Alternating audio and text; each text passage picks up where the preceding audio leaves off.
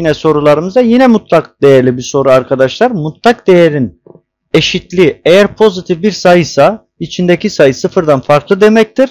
Yani ya eksi ya da artı olmuş demektir. Yani şuradan şurayı çizelim karışmasın şıklarla. 2x eksi 3. Burada bize ne vermiş arkadaşlar? 21'e eşittir demiş. Buradan çözümümüze baktığımızda buradaki içerideki sayı ya eksi 21 dışarıya mutlak değerde 21 olarak çıkar ya da 21 artı 21'dir dışarıya 21 olarak çıkar. Demek ki içerideki sayı hem eksi 21'e hem artı 21'e eşitlememiz lazım arkadaşlar. O zaman 2x eksi 3 eşittir bir 21'e.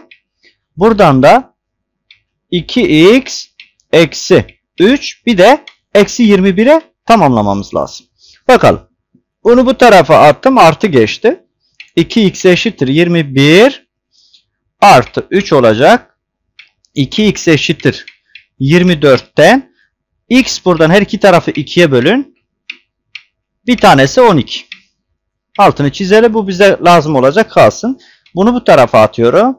2x eşittir. Eksi 21. Burası artı 3 olacak. 2x eşittir. Burası arkadaşlar devam ettiriyorum.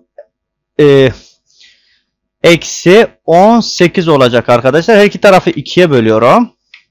Dikkat edin. x eşittir burası. Eksi 9 olacak. Benden ne istemiş? Yani x'i sağlayan değerler 2 taneymiş. Benden demiş ki x değerlerin toplamı. Şuradan şöyle gösterelim. Birisini 12 buldum. Artı birisini de eksi 9 buldum. Topladım. Burası cevap ne olacak? 3 arkadaşlar. Nerede bakalım şıklarda hangisinde var?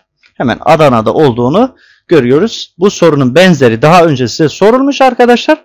Temenimiz bir daha size sorulsun.